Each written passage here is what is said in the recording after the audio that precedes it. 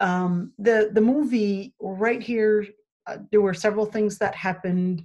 Um, let's just do like a whiteboard for a little bit. Um, a number of things actually happened in the story. We had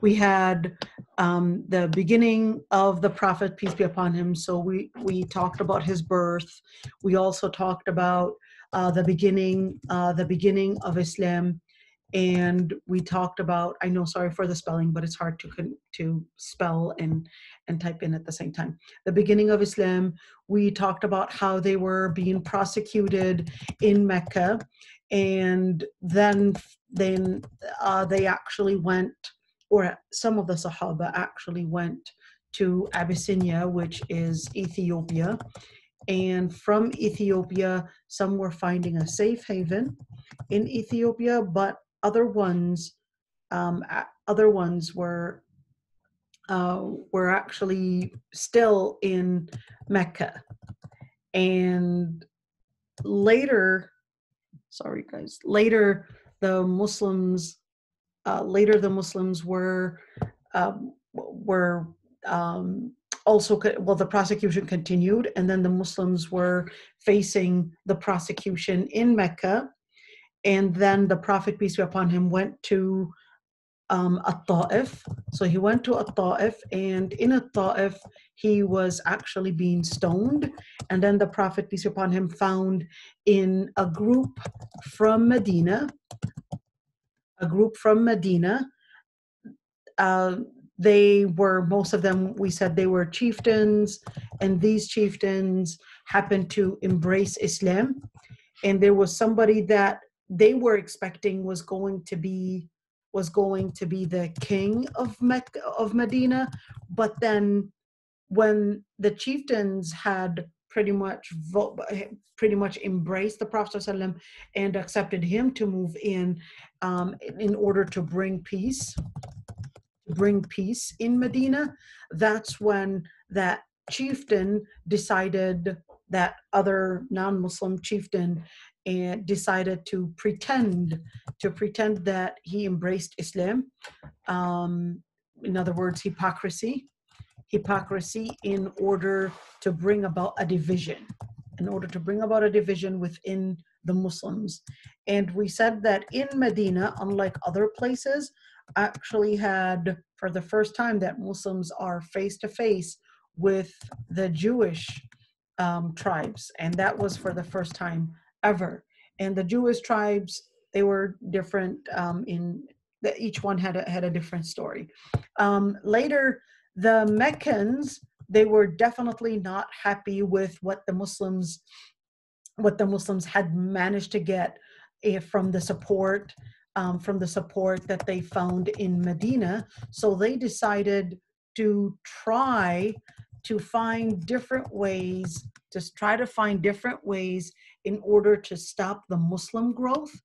In order to stop the Muslim growth, they con- continued continued to find one political ways and political alliances eh, alliances in order to break the Muslim growth.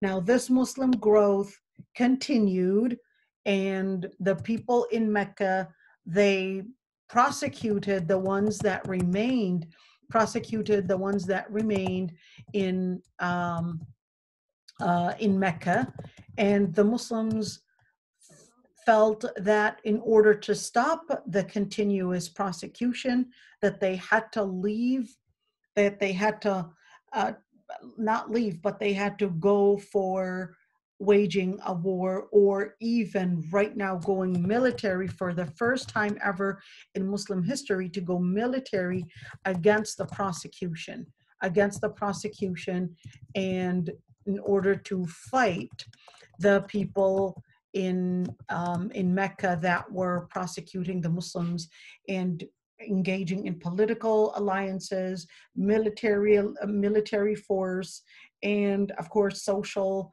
uh, social um, uh, aband- uh, well they're abandoning abandoning the muslims etc all that was causing a lot of harm. So then that ayah in surah al-hajj was revealed. That ayah in Surah Al-Hajj was revealed. And the Muslims, for the first time, wage uh, the war or engage engage in the battle of Badr. Engage in the battle of Badr. And from the battle of Badr, that brings in a different shift because in that battle of Badr, eh, from the battle of Badr, things started to change. And when we speak about when we speak about um, things changing, the political situation started changing because now there's they're realizing that is the Meccans are now realizing that the Meccans are now realizing that the Muslims are not as um, as fabric or as uh, what is the word, but as soft as they had thought they were. They realized that it was a growing, a growing community, and it was getting larger. And in Medina, and in Medina, Muslims were now going into a different, into a different level, into a different level of development in Medina, there were verses from the Quran that were now revealed in where legislature was coming in. Legislature included social, um, it included um, transactions, in other words, economical. It also included political. Uh, political legislature and what international law looks like, how to do all that, and that brought in even more um, more a social and a religious organization that was that was now becoming stronger on many ends and of course the most important thing was which was that transition it was transitioning um, the muslim community transitioning the muslim the muslim community from um, the the arab based the Arab based into a Muslim based. And this is really important because unfortunately, a lot of the Orientalists, when they speak about uh, the Muslim development, uh, just like Karen Armstrong, who would say that the, that Islam was was more of an Arab revolution and more of the Prophet, peace be upon him, was just trying to bring in an Arabic change and bring it into a different society. So he invented legislature. That's actually not true at all because the prophet peace be upon him from the very beginning and from the very birth of islam he was actually talking about um, talking about um, prophethood worshiping god almighty one lord almighty turning to allah and um, turning to Allah Almighty with a new set of principles, with a new way of defining. And here's the most important, which was says Islam was now redefining, redefining um, what family went, what family went uh, or meant, or what economy and what success meant, um, and what women went meant and what rights meant and what legislature meant and the list goes on and on. So that was something that was unprecedented unprecedented in medina and in mecca and even on in the arabian peninsula. So now we see the battle of badr marking as the first battle was now bringing in that transition transition within uh, within the Arabian Peninsula and of course a transition on different ends right here. So now we're going to continue the movie. That way we won't make it into um, into a lecture inshallah. So this is the battle of badr.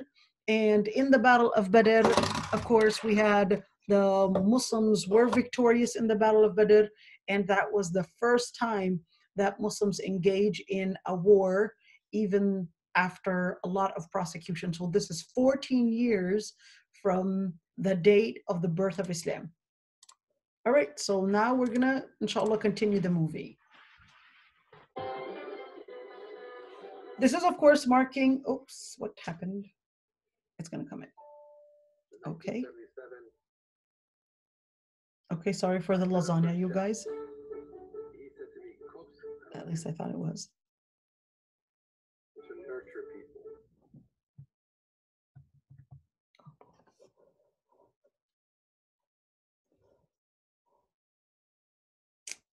Mm, it seems like the bandwidth is slow, so it looks like I'll have to end Facebook and stay on Zoom. For those that want to, continue watching this? Okay, here we go. For those that want to continue watching this, I think we'll have to leave it just on. Okay, here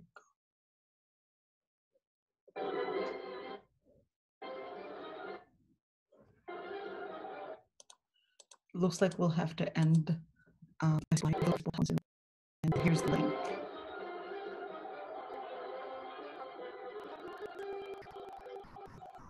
The number of Muslims that were killed in the battle were approximately 14 or 15, and the number of from the, the people of Quraysh were were approximately 70. And what we see. You're not the we're trying to.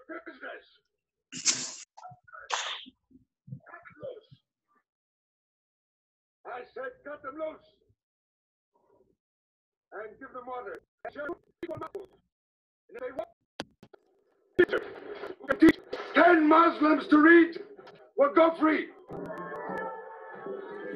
Um, worthy, worthy of mentioning here, worthy of mentioning here is that um, the Muslims at the time, the Muslims at the time, or the Prophet peace be upon him, had actually you saw how Hamza was saying, if somebody's able to afford or wants to free himself that if any hostage of course wants to free himself from the non-muslim uh, quraysh group then they would basically have to they would have to um, teach 10 people in order to free themselves. And that actually brought in the importance of education as well so it was 10 people uh, that were free that were um, that were uh, every single person was supposed to be teaching 10 people. Now, one important story that I would want to say in here is that amongst the people that were taking as a hostage, you guys listen up to the story. This is one of my favorite stories. One of the people that was taken as a hostage was um, so let me let me draw right here like this little map right here. One of the stories was actually um, al-as ibn uh, al-as ibn rabi'a ibn al abu al-as abu al-as um, ibn rabi'a ibn rabi'a. Now this guy was actually the nephew um, khadija khadija's nephew. So he was Khadija's nephew, and Khadija was actually Khadija was actually the Prophet peace be upon him's wife, and this guy was actually her nephew, who is Al As ibn Rabi'a, and Al As ibn Rabi'a, Al As ibn Rabi'a, when he actually married uh, when he got married, he actually got married to the Prophet, peace be upon him's own daughter Zainab so Al-As ibn Rabi'a gets married Al-As ibn Rabi'a again who's actually the prophet the Prophet Prophet's wife's nephew. He gets married to Zainab, his own, the Prophet, peace be upon him's own daughter. And then later, Abu al-As himself actually fights against his own father-in-law, which is actually the Prophet, peace be upon him which is actually the Prophet, peace be upon him. Now, Al-As ibn Rabi'a gets taken as a hostage gets taken as a hostage, uh, as a Abu al-As. He gets taken as a hostage, and in order to free him, Zainab, who's actually the Prophet peace be upon him's own daughter, she actually sends, in order to free him, she sends her mother's necklace. A necklace that her mother had given her as a gift and on her wedding day. So Zainab sends that necklace to the Prophet, peace be upon him. Zainab at the time was in Mecca, and Abu al-As was taken as a hostage in Medina. And the Prophet ﷺ sees the necklace and he recognizes that that belongs to his wife Khadija. So Abu, uh, the Prophet, peace be upon him, he just said, tells the Sahaba, you do what you want to do. In other words, what you think is right. So they decide to release Abu al-As ibn Rabi' and then Abu al-As ibn Rabi' the following year he actually fights against the Prophet peace be upon him again literally in the battle again in the following battle, which is the Battle of Uhud. And Abu al-As ibn Rabi' again gets taken as a hostage.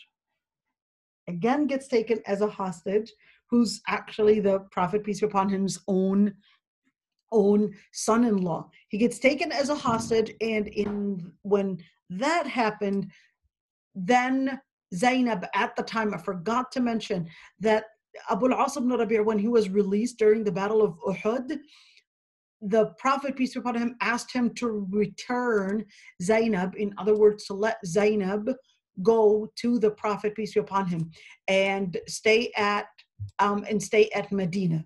So this time when Abu al-As ibn Rabi' was taken as a hostage in Uhud, um, Zainab is so excited to see her husband, even though he's taken as a hostage. To her, in the end, that's her own husband. So the Prophet, peace be upon him, tells Zainab that he cannot be like he asked if he could see. He asked if he could see um, his own wife, which is the Prophet, peace be upon him's daughter. He agreed, but he told Zainab that she can't be intimate with him. But imagine how excited she was to see her own husband. Then Abu al-As ibn Rabi' decides to go back to Mecca. He goes back to Mecca because he did, he insisted that he doesn't want to become Muslim. So he goes back to Mecca. He's freed, and um, Abu al-As goes back to Mecca and gives all the all the trust and all the um, all the things that he owed, the debts and etc., to the people of Mecca. And there he announced that he had become Muslim. And Abu al-As ibn Rabi' Abu al-As ibn Rabi' goes back to his wife Zainab and goes back to um, being in Medina. All right, so let's continue the story.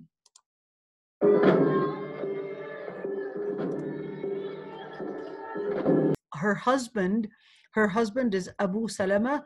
He actually migrated to Medina, one of the very the very first ones to migrate to Medina. But when Abu Salama was killed in the Battle of Uhud, Umm Salama was extremely, extremely hurt but then the Prophet he later marries Umm Salama when Umm Salama thought there was nobody that going to be that was nobody um, that was going to come after Abu Salama that was going to be as Abu Salama.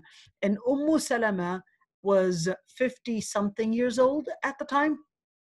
And Umm Salama later um, when she marries the prophet peace be upon him in the initially in the beginning she actually refused the proposal and said that she was over jealous she said that she was over jealous and she was worried that because the prophet ﷺ had multiple wives that she was going to be jealous from them but later the prophet peace be upon him said that he'll make uh, he'll invoke God Almighty to take out that jealousy, and later she would be the person to tell him to go to um uh, to go to Aisha's um, to give her night out for Sayyidah Aisha.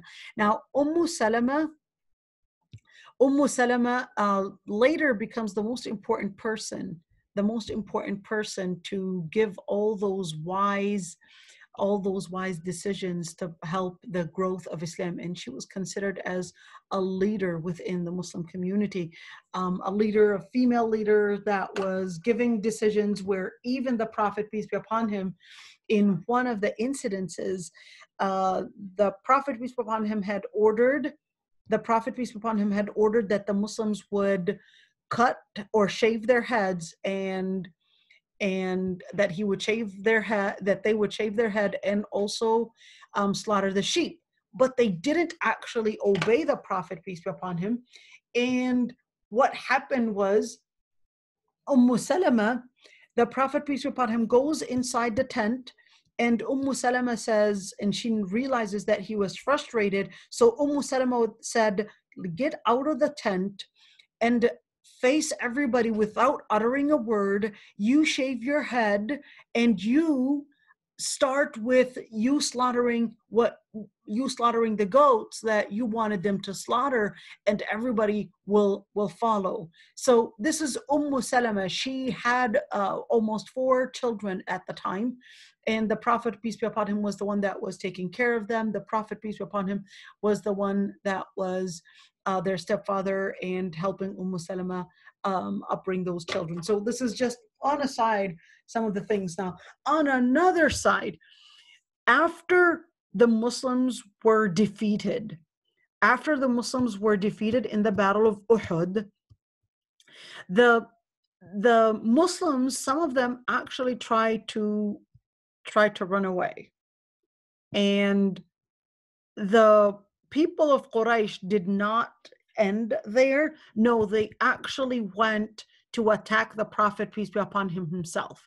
To attack the Prophet, peace be upon him himself.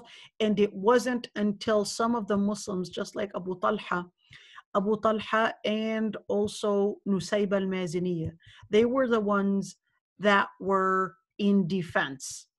They were the fun, ones that were standing in defense to protect the Prophet, peace upon him.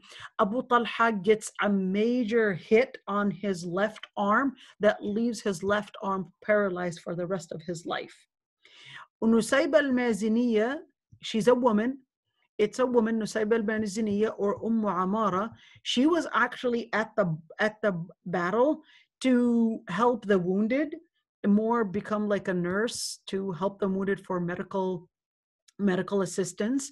But later, Nusayb al Maziniya was using her own sword to help the Prophet, peace be upon him. The Prophet, peace be upon him, does get a cut on his face, does also lose a tooth, uh, lose a tooth right there as well. And um, the more of the rubaiyat, so we're talking about um, a molar tooth.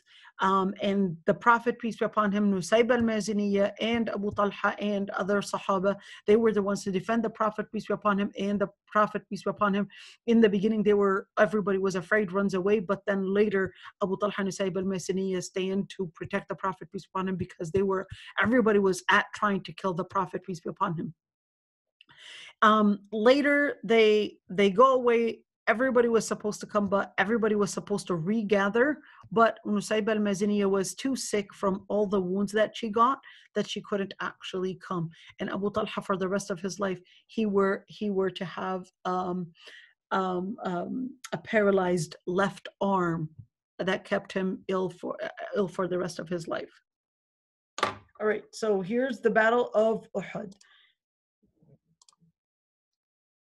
you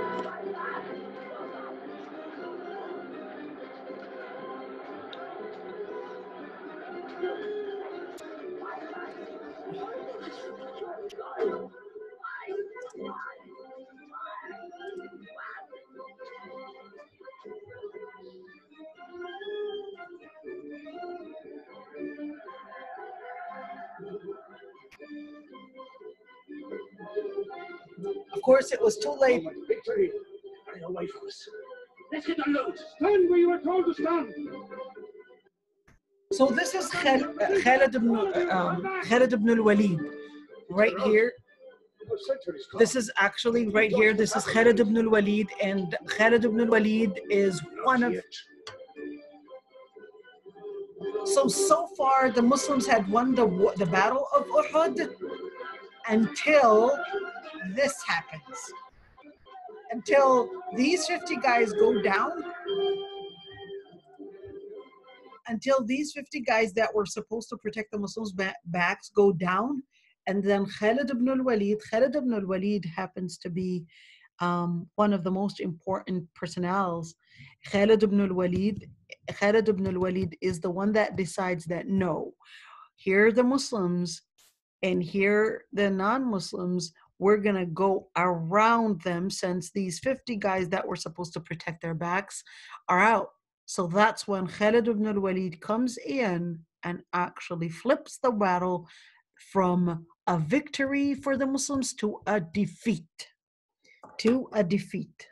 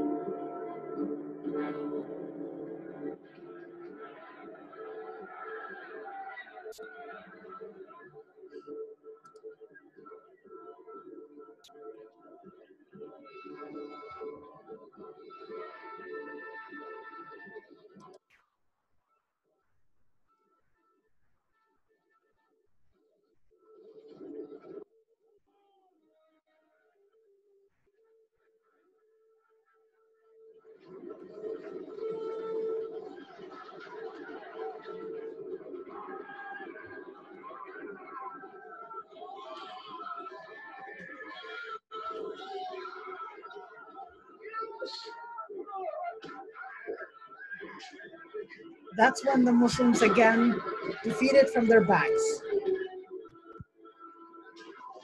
But it was too late.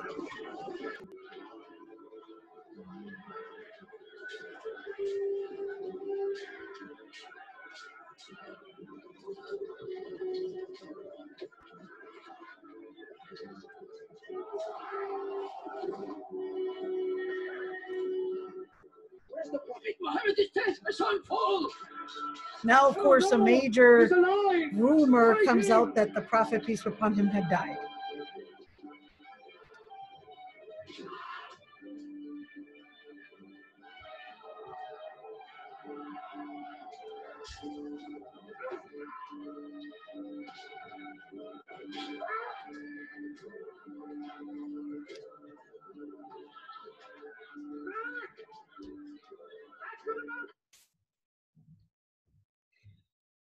Um, really important to mention when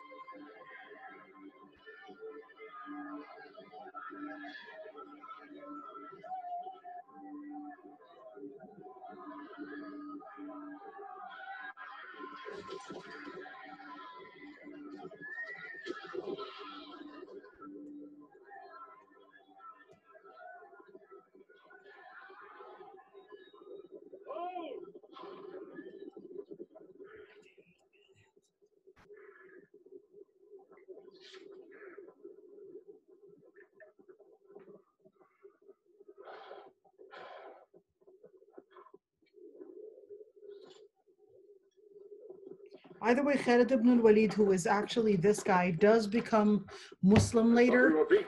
Um, let, let me comment on Khalid ibn al-Walid um, for just a little bit. Khalid ibn al-Walid, you guys, is a very important personnel. In fact, Khalid ibn al-Walid, this guy is this guy is a legend. This guy is managed to wage two wars in a matter of five months almost in one year and defeated defeated the um, Roman Empire or the Byzantine Empire at the time, which is actually called the Roman Empire, managed to defeat the Byzantine Empire, in other words, Rome, which was considered at the time the the most the the super the super empire, the super country at the time, and also which is at the time called Byzanta, and also managed to defeat the Persian Empire the Persian Empire, and that flipped everything. Just there was not a single battle that Khalid ibn al-Walid engaged in, whether Muslim or non-Muslim, and was defeated.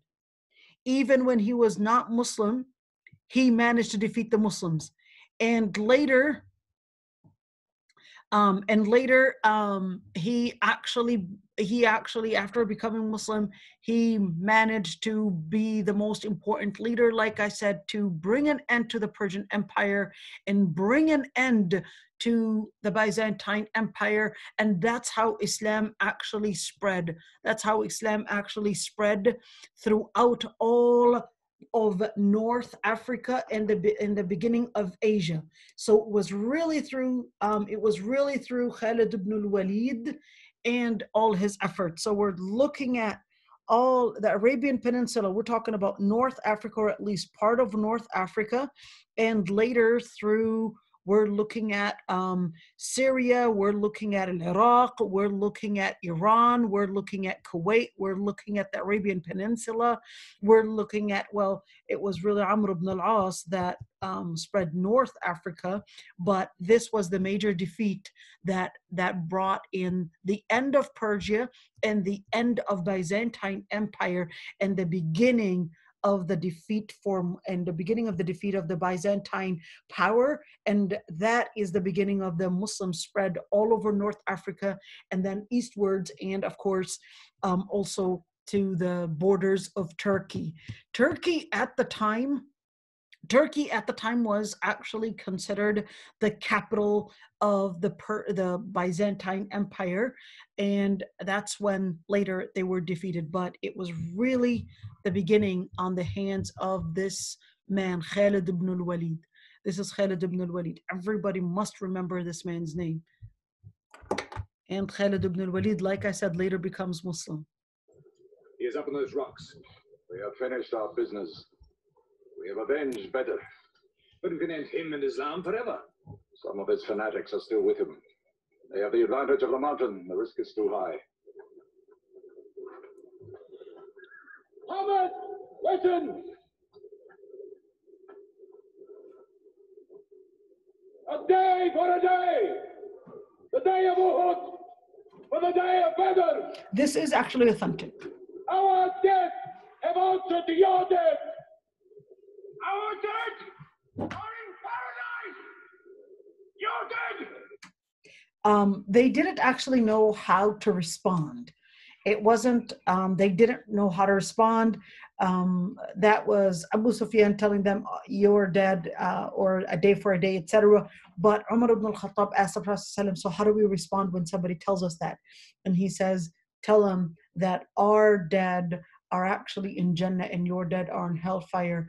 And Allah is our supporter, and you have no supporters and that's when you know this is something for us to learn that even the quote unquote um, let me call it that way the the slogan slogans or what we use and what the muslims use in order to bring in that that power is not just a slogan but it is actually it is actually something that muslims live. It's it's a word to say it's a word to live Are in hellfire!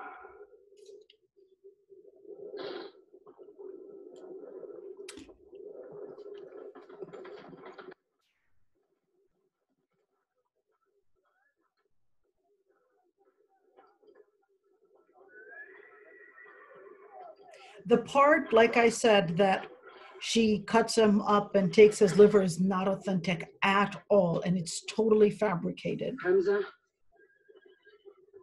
Hamza? You hear me, Hamza? Do you know that I'm with you? I helped. Do you remember anything, Hamza? How you killed my father and my brother.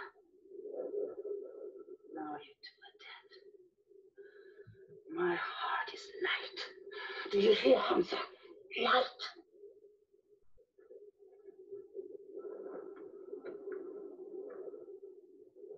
But I haven't finished with you. Death is too small. Wahshi, cut him open. Cut him. Like i said this part is not authentic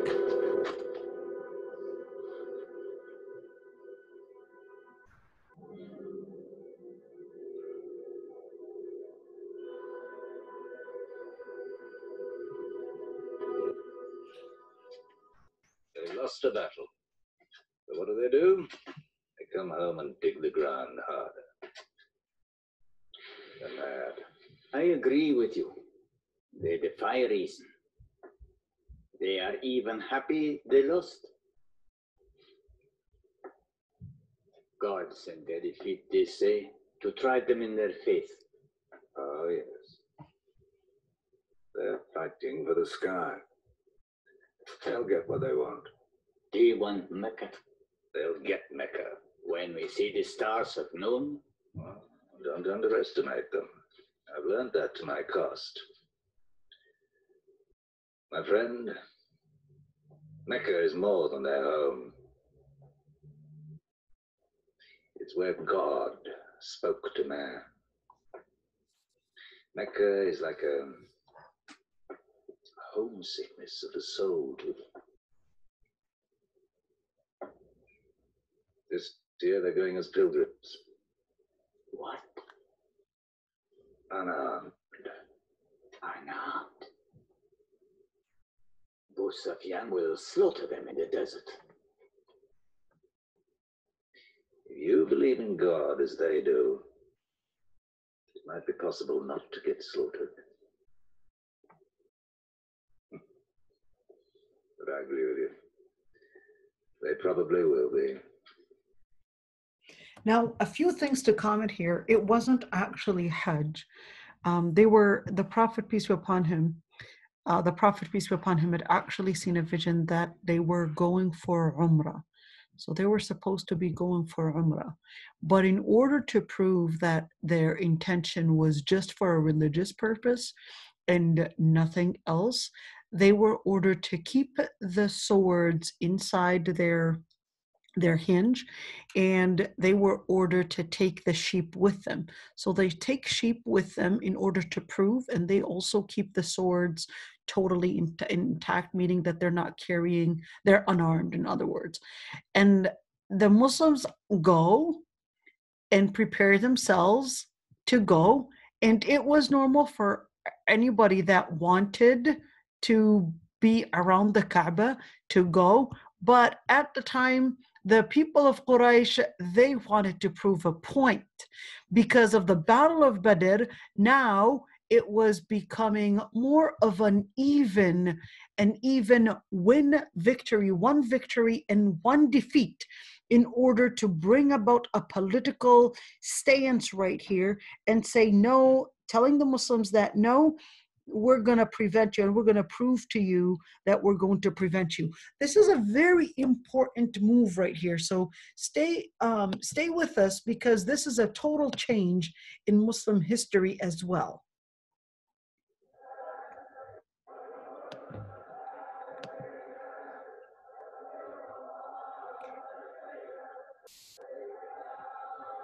And what they're saying is لبيك اللهم لبيك لبيك لا شريك لك لبيك إن الحمد والنعمة لك والملك. لبيك means we turn to you, Lord Almighty. We um, we are coming and answering and answering the the call.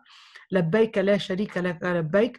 We um, we here come uh, obeying your your your orders or obeying your um, your uh, your your mission and your or the call that you ordered us to come and there's no we don't associate partners with you. And it's very important to mention that the people of Quraysh were doing already certain certain rituals around the Kaaba but naked. They were going around the Kaaba naked. They were going around and doing certain things that was still some of the things that remained from the time of Prophet Ibrahim alayhi salam. And let's continue.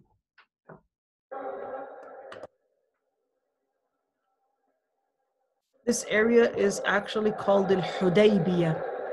Al Hudaybiyah. Place is called Al Hudaybiyah.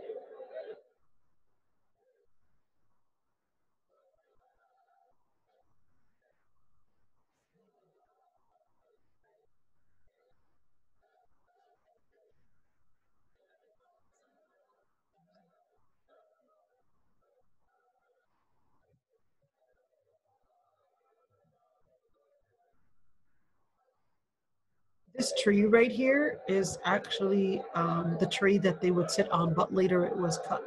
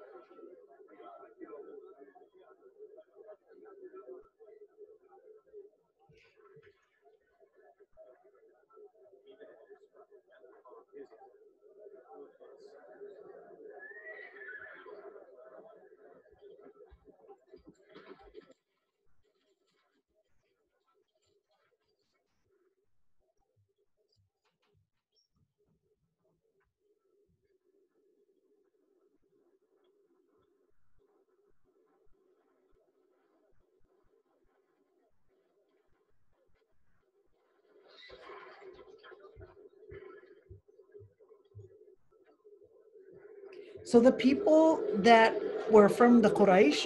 They were actually coming in to test the waters and to provoke the Muslims in order to engage in a battle. This is Khalid ibn al-Walid, that mastermind and the the later man to defeat the Persian and the Be Byzantine still! empires.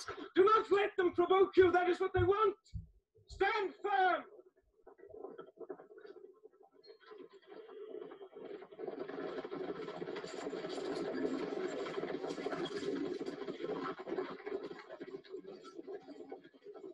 うん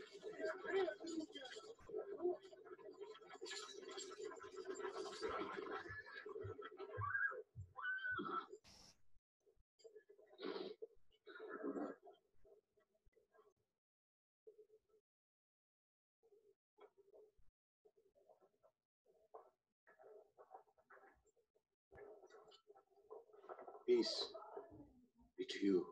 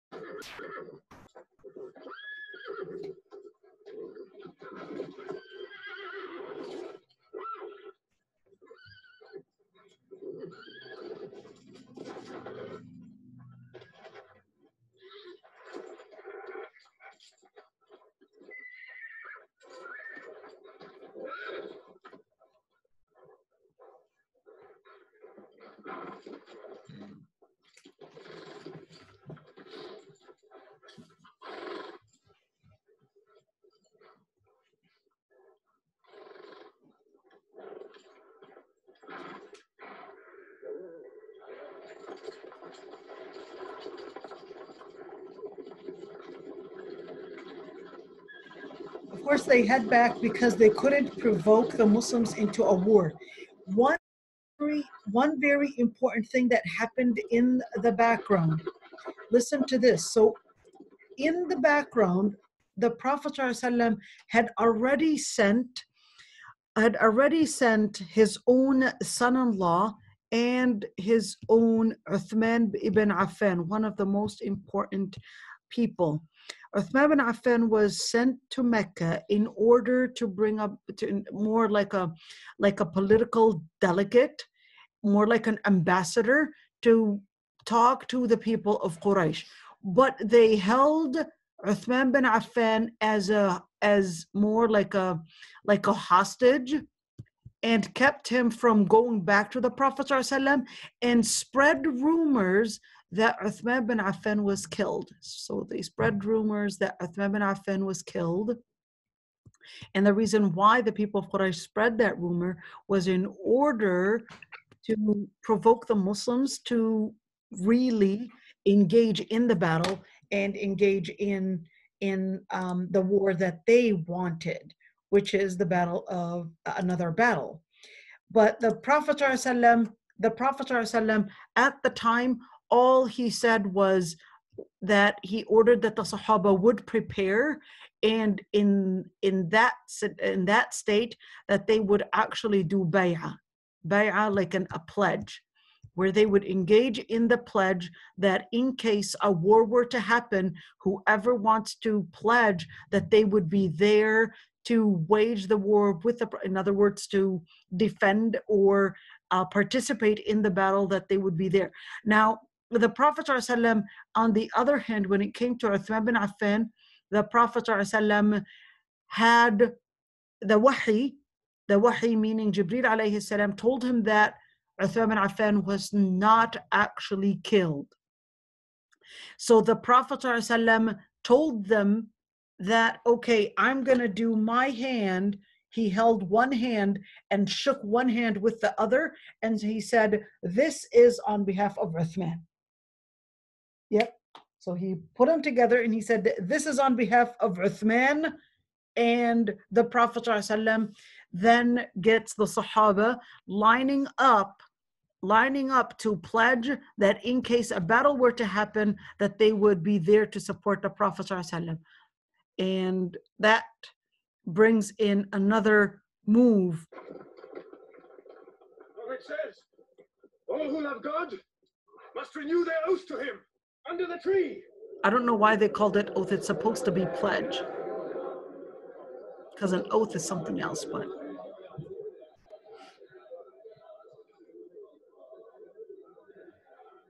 And this becomes Bay'at al-Ridwan.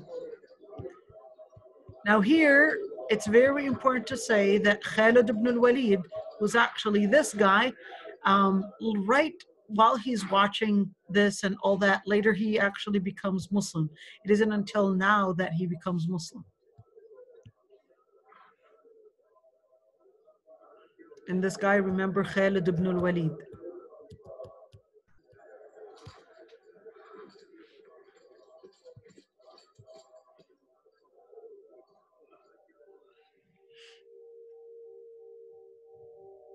Let's send someone else.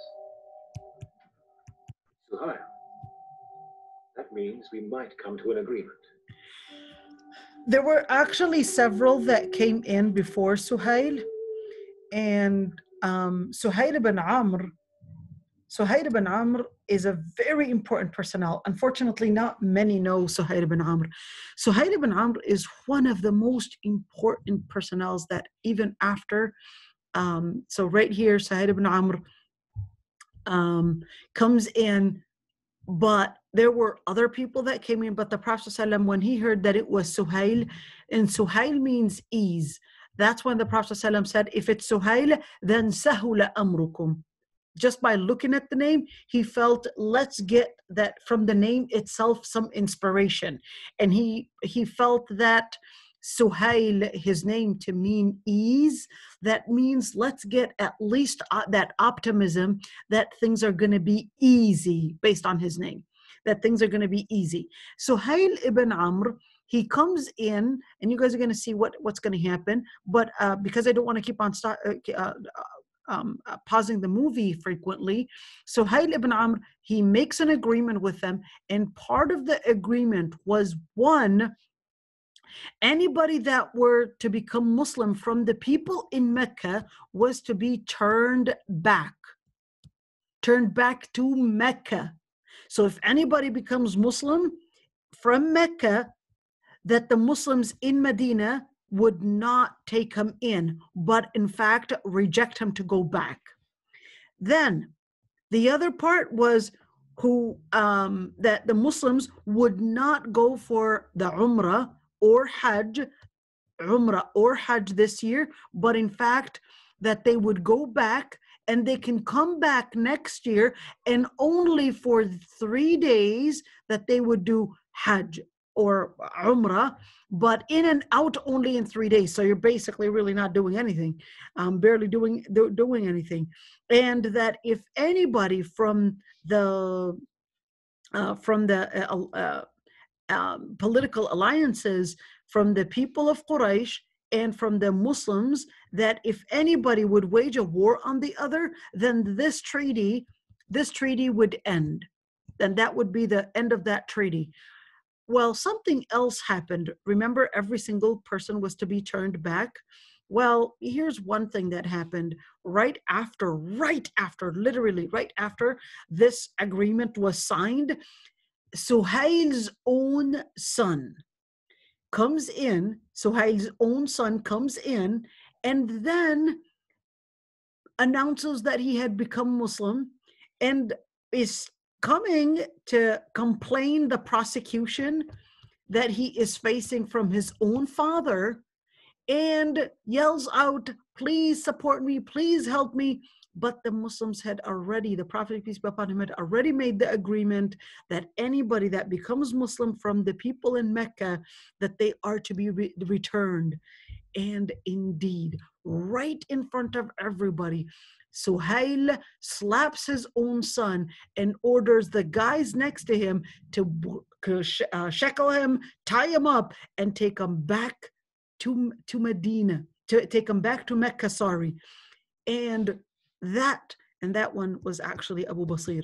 Well, not only him, and Abu Jandal, sorry, not only him, but later the Prophet, peace be upon him, gets another another guy. His name is Abu Basir. Abu Basir, same thing. He becomes Muslim in Mecca, manages to run to Medina, but then the soldiers of the Quraysh group, they go to Medina and they say, you know, there's this guy, Abu Jandal, we want him back. So the Prophet ﷺ just says, Abu Jandal or Abu Basir would be able to wage a war by themselves if only they had other men to support them. Now, pay attention to this so that if only they had other men to support them. On the way back, Abu Basir, he had two guys that were, you know, taking him back and holding him. That's when Abu Basir manages to free himself by taking one horse and even the weapons of one of these guys and actually go back and bring about other guys it, because the Prophet ﷺ, he would be, said he would be able to wage a war if only he had other men with him. And that is the first Muslim guerrilla war. That was the first ever Muslim guerrilla war. And then the people of Quraysh would then ask that the Prophet, peace be upon him, would say, would order these groups that are waging a guerrilla war, war to stop and and stop and not fight the Muslim and not fight the people in Quraysh. But the Prophet said, Well, you said they're not part of me, so why are you putting why are you asking me to stop them? They're just trying to defend themselves on their own. And then later, um, later, the people of Quraysh they said, Okay, we'll give up on we'll give up on that uh, piece, uh, that part of the treaty, and anybody that becomes Muslim can go back. It another person that, um, and her name is um Kulthum, um Kulthum bint Uqba ibn Abi Mu'ayt. And Bint Kulthum bint Uqba ibn Abi Mu'ayt at the time was just a young teenager. Bint Uqba ibn Abi Mu'ayt was just a young teenager who had become Muslim. And she actually goes she actually goes to um, uh, she actually goes to medina and in medina um, seeking the prophet peace be upon him's support.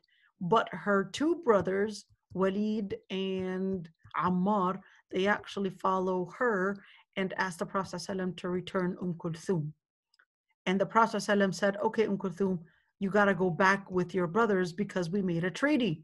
So Umm Kulthum complains and she says, You can't deal with the guys the way you deal with the women because we are weaker. You can't let that go and return me to them because you're going to be putting me in a very huge dilemma and a prosecution that as a woman I cannot face. And that's when that ayah in Surah Al Mumtahina in Surah Al Mumtahina was revealed. Um, oh, you believe if any of the women come to you, um, any of the women come to you, then test them and test their their faith. If they are coming in for the sake of Allah subhanahu wa ta'ala, then let them stay.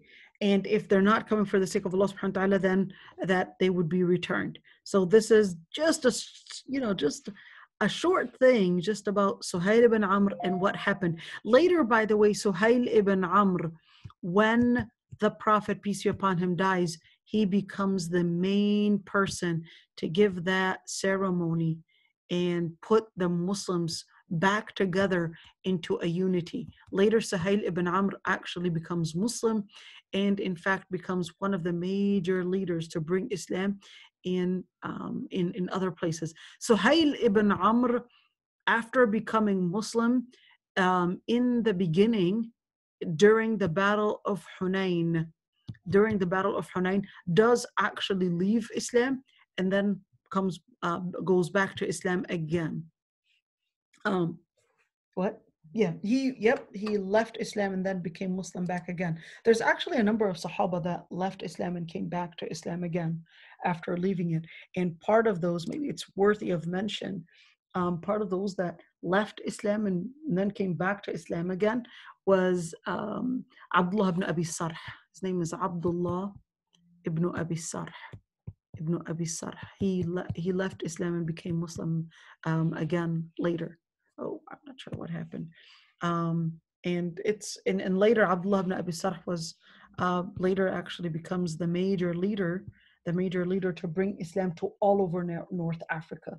So Libya, Libya, and Chad, and Tunisia, Algeria, Morocco, and Mauritania actually became Muslim through Abdullah ibn Abi Sarh and Uqba ibn Nafi'. Uqba ibn Nafi' and Abdullah ibn Abi Sarh were the major two leaders to bring Islam to North Africa. Yeah, even though Abdullah ibn Abi Sarh, in the beginning, he migrated to Medina and then left Islam and then went back to Mecca. You know, he migrated to Medina, goes back to Mecca, and stays way, um, doing all that poetry, warmongering against the Prophet. And by the way, Abdullah ibn Abi Sarh is actually Uthman bin Affan's milk brother. We'll talk about him later, um, so we can stick on the topic and not give get um, far. Sorry, you guys, I can easily get get get away from the main topic. You have been given conditions of truce between yourself and Mecca. Have you agreed to them yet?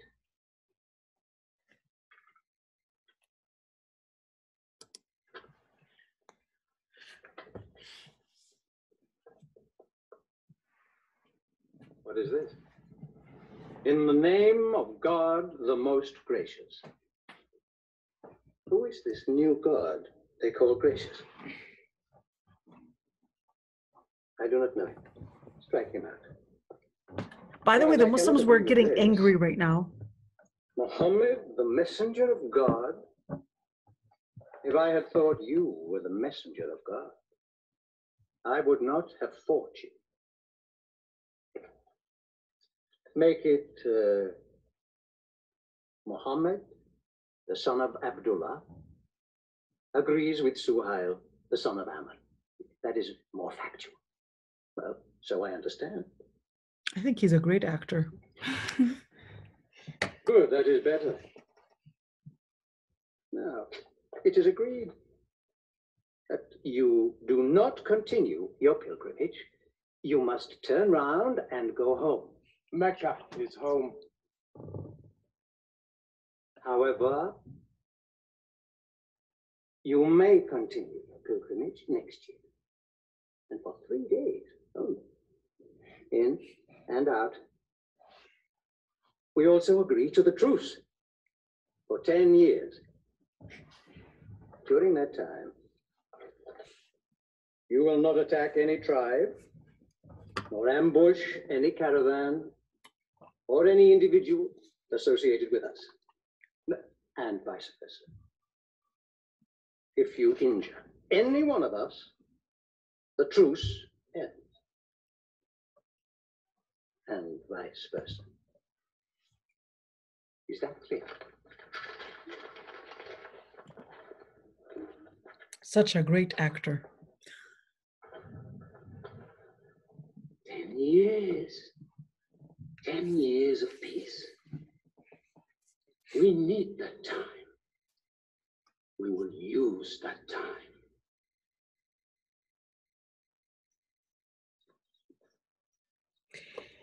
Now, this marks a shift. Let me pause it right here. The shift is right now from delivering Islam to the Arabian Peninsula to actually going outside of the Arabian Peninsula.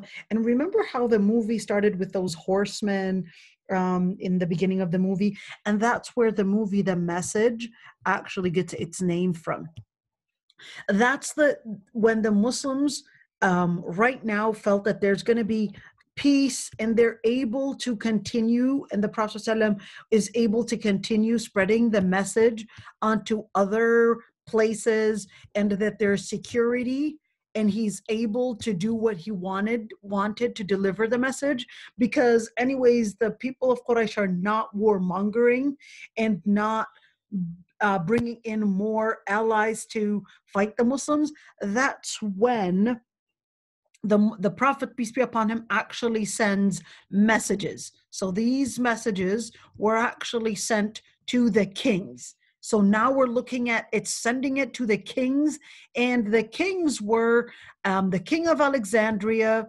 king of Alexandria, the king of Ethiopia, the king of Persia, the king of um, the king of the Byzantine Empire, the Byzantine Empire, and also another king. I forgot which country that was, but those are different kings that were sent to them in order to tell them about Islam, in order to um, spread the message. But every single king reacted differently. The Alexandrian king, um, who was Coptic, so it was the Coptic Egyptian king. He reacted differently and he said, Well, I didn't find anything special about the message of Islam. It's not any, it's not much of a difference from what the faith that I'm embracing. So he sent the Prophet ﷺ two slave women that were Maria, Maria, and um, the other one, I believe her name was Nisreen. Um, Nisreen. So Nisreen and Maria, and also um, it was it was um, it was like a bull that was also sent with some money and clothes and stuff. So that was more like a political like a political um, you know paying a tribute and respect you know although he didn't necessarily become muslim. Uh, the ethiopian king on the other side later embraces islam and his name is ashama. He later embraces islam and indeed he becomes muslim. And you know i forgot to mention somebody else I'm going to talk about him in just a bit. Um, later, the Persian king actually kills um, the Persian king kills the Muslim uh, the Muslim ambassador that was sending the note, and later also the Byzantine Empire um, was still very suspicious and did not take it did not take it um, easily, and was was preparing to bring about a war against the Muslims. And that's when they send 40,000 troops near the area of Yarmouk in Jordan in order to face the Muslims. So this is this is going to take some time right here. Now, one thing one thing to mention oh and by the way the the alexandrian king and the two slaves that he had sent one of them was maria so maria and Nisreen. Nisreen later is taken by Hassan ibn Thabit and Maria. Later, uh, the Prophet, peace be upon him, although offered Maria to be freed, but she refused to be freed and preferred that she would not be freed, but be with the Prophet as a concubine. So more like Hajar. She refused to be freed because she felt that the hijab and all that was going to be hard for her, hard on her, and she preferred not to be freed and wanted to stay as a concubine and later becomes the mother, uh, the Prophet, peace be upon him's son's mother. So she becomes, and the Prophet would have a son, his name is Ibrahim, and this was actually his mother. Um, Maria herself, Maria, she later, although called al-Qibtiyya, the Coptic, she does actually become Muslim. And um, just a little bit about this uh, it's very also important to mention that the Ethiopian king, after becoming Muslim, the Muslims actually pray the distant, the distant janazah on the Ethiopian king, on the Ethiopian king. Now, because the Persian Empire had killed the that ambassador that was sent by the Muslims, that is the result that resulted in the war against Persia. And later, when the Byzantine Empire, the Byzantine Empire, um, they they also did not react good to the message, um, and later way later set forty thousand troops in order to wage a war against the Muslims. We'll talk about that later, inshallah. But just you know, heads up on some of the things. Okay, what does it mean now? What is what is the the message and how things are unfolding little by little.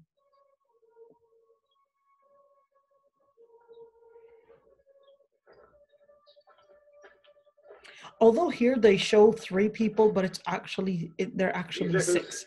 From Muhammad, messenger of God, to the rulers of the world, call the world to Islam, to Heraclius, emperor of Byzantium, Kisra, emperor of Persia, Mukalkas, Patriarch of Alexandria. God go with you.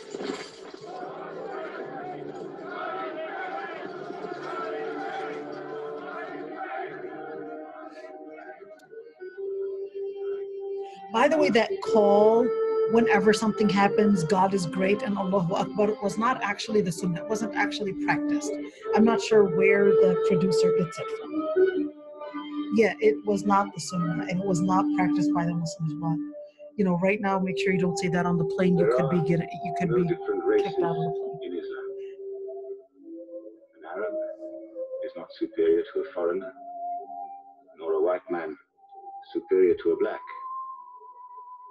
All return equally to God.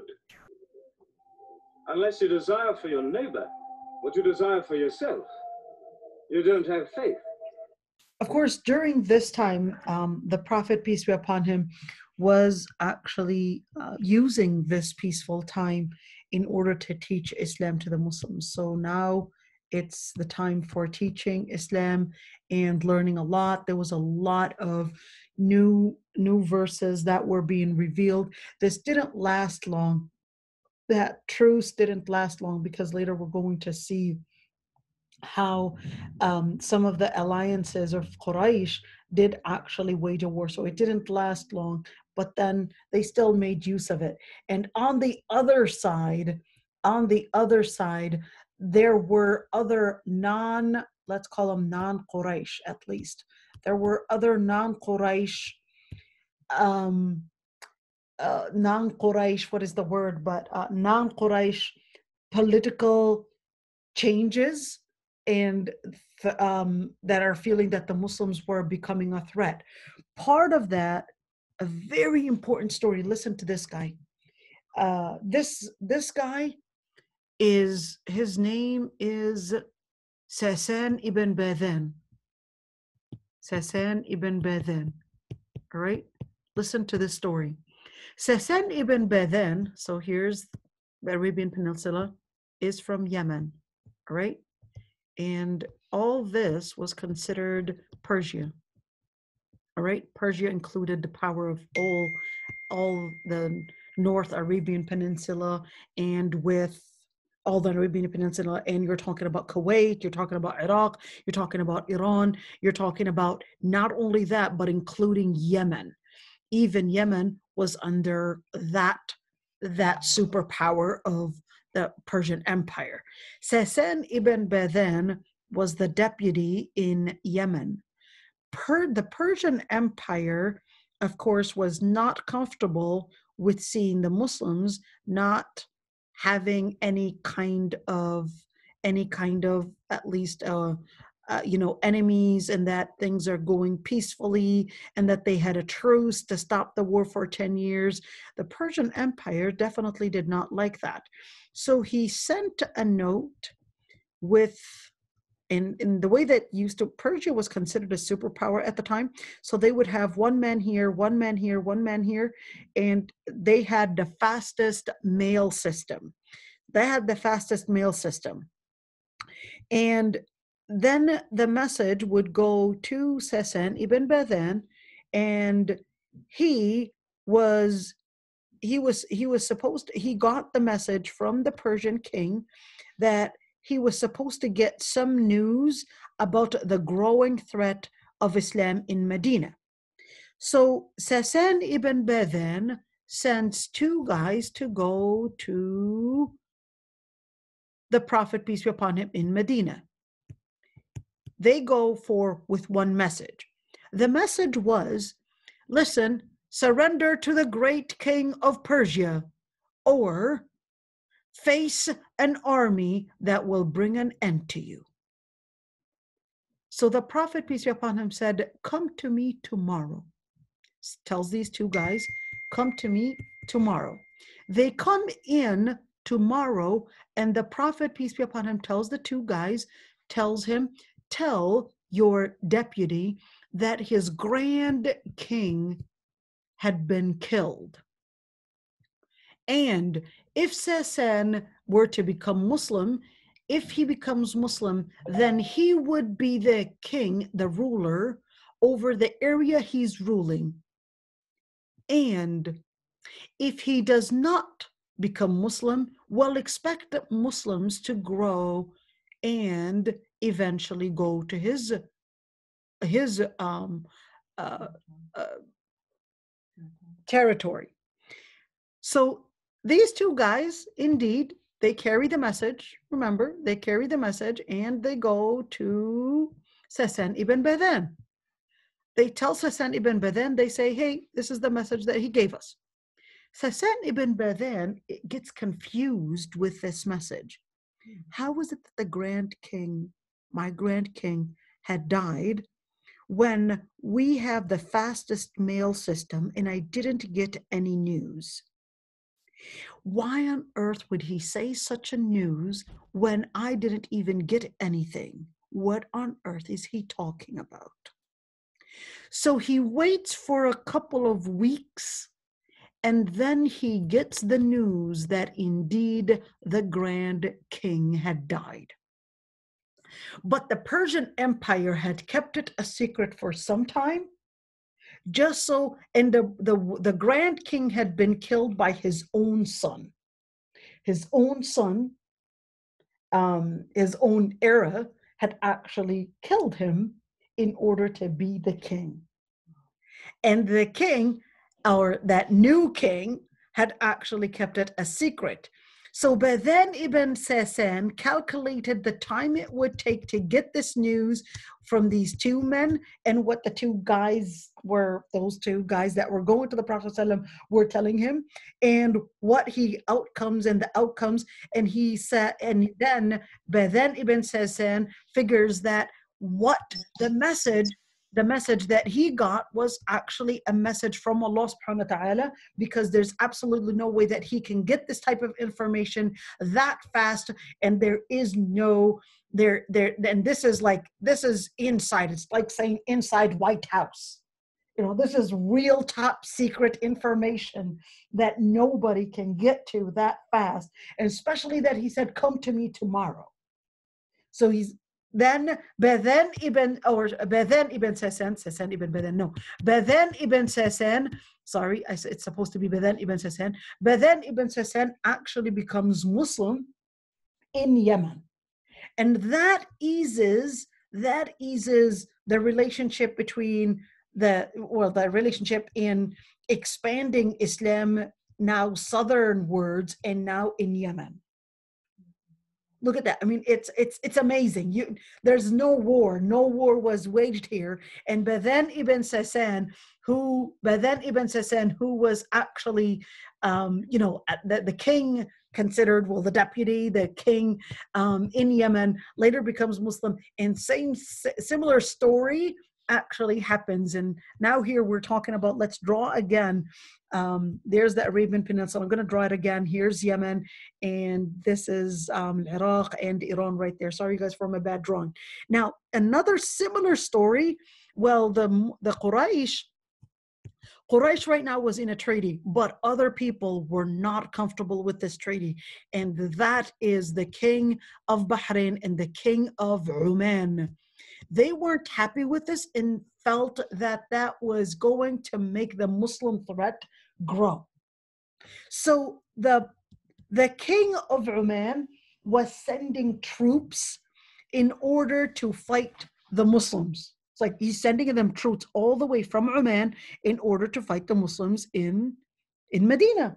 But the Muslims, even though they didn't really have the power to wage a war, but still they had to they, they had to somehow bring in bring in some power just to kind of you know uh, protect themselves from all that. Well here's the story. This this time the muslims there's there's only a couple but they still it's like even if there's a bigger army but we still have to face and do something about them. So the prophet ﷺ sends a group of sahaba in order to protect themselves from the coming that Omani um, uh, uh, troops and the military that was coming in. So the Muslims they managed to mm, to take somebody as a hostage. They have no idea who it is, but they're like, you know what? We're bringing in. They where they defeated some soldiers there, and they took this guy as a hostage. So here it is. This guy comes in as a hostage. the Muslims bring him. Okay, this is our man right there. This guy, the Muslims really had no clue who this guy is. They, well, he's part of the people that were waging and manage, managing the war. Whoever he is, just take him because he was part of the people that were fighting. So the Prophet ﷺ gets a message from Jibril alayhi salam that this is actually the king of Oman himself. All right.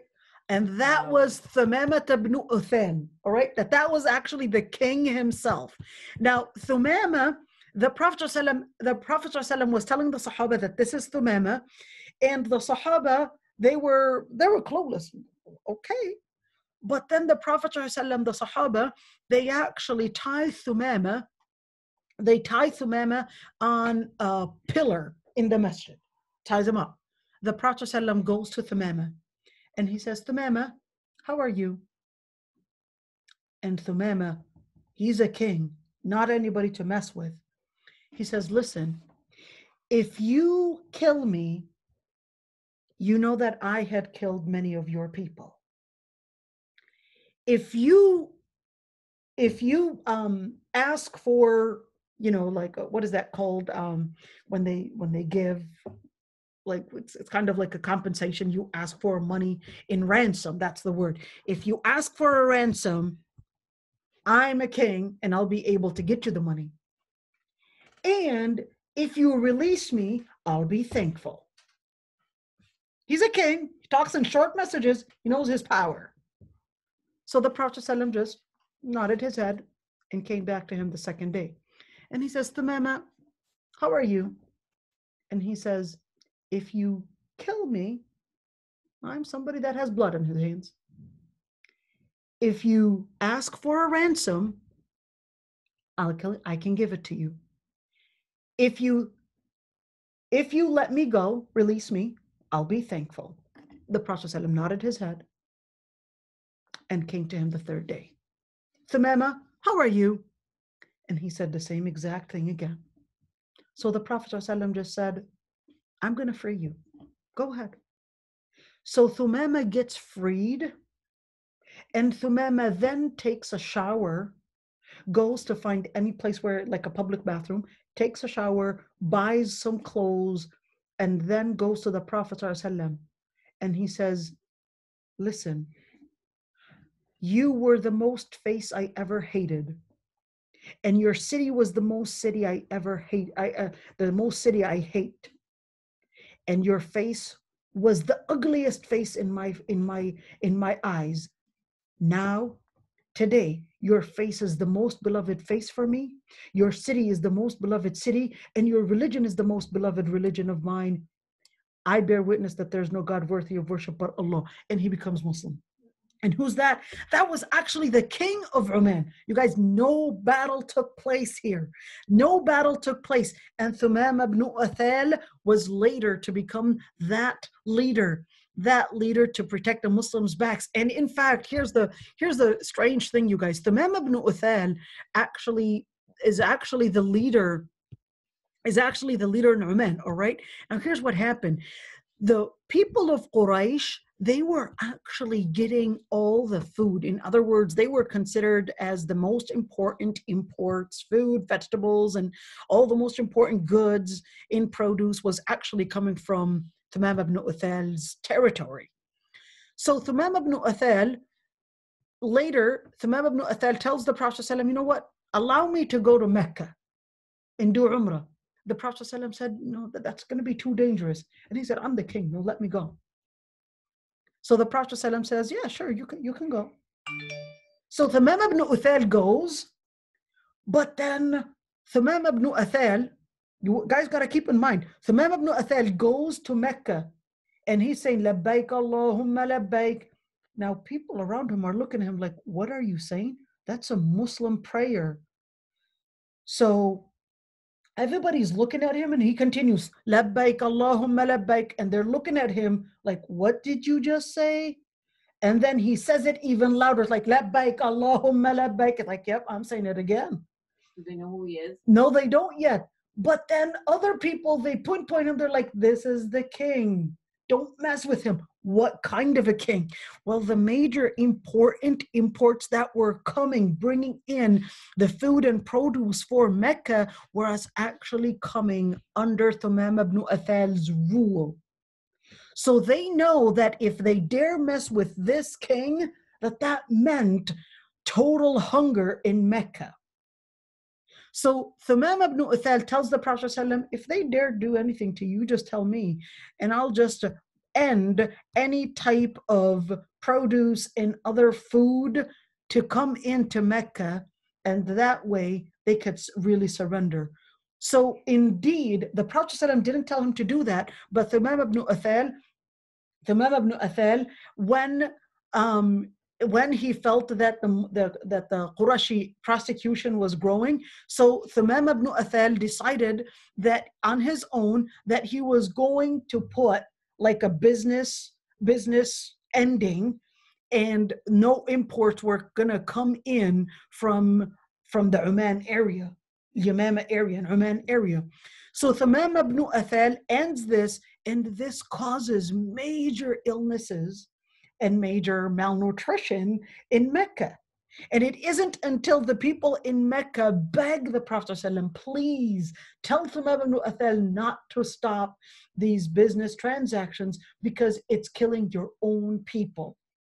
So the Prophet ﷺ says to Thumam ibn Athal, can let that business transaction continue.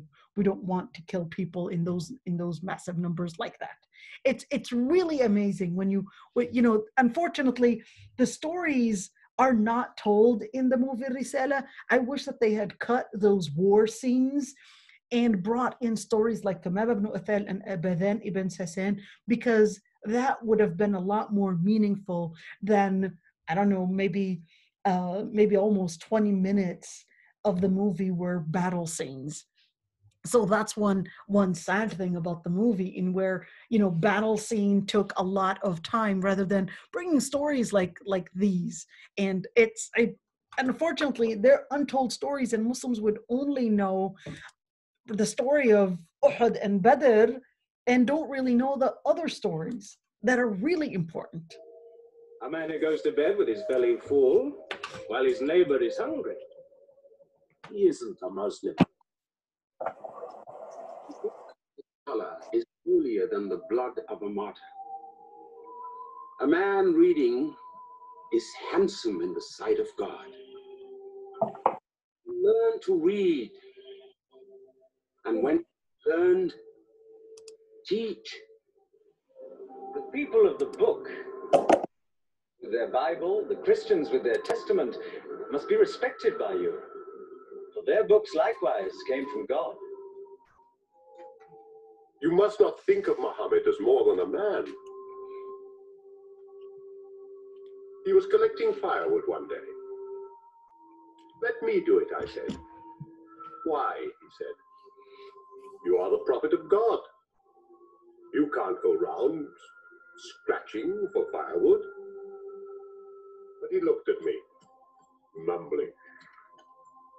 God does not like the man who So this is Khalid ibn Walid actually coming to embrace Islam right there. It wasn't just Khalid ibn Walid, it was Amr ibn al-As as well, and it was another third person. I think it's Uthman bin Malafun, I think. Yes, I am the prophet of God, he said. But even I do not know what will become of All right, so we're going to stop right here and inshallah we'll continue next week. I hope you like those commentaries and um, I hope you didn't get disturbed by me pausing the video frequently. Um, we'll see you all next week, inshallah. Um, Monday, same time for more commentary because we need to see what happens to Khalid ibn Walid and we need to hear more stories and inshallah we'll see you all next week. There were some questions on the chat. Um, I did comment on the issue of Hudaybiyah that women were, were actually included, but then the ayah was revealed as no women are not included.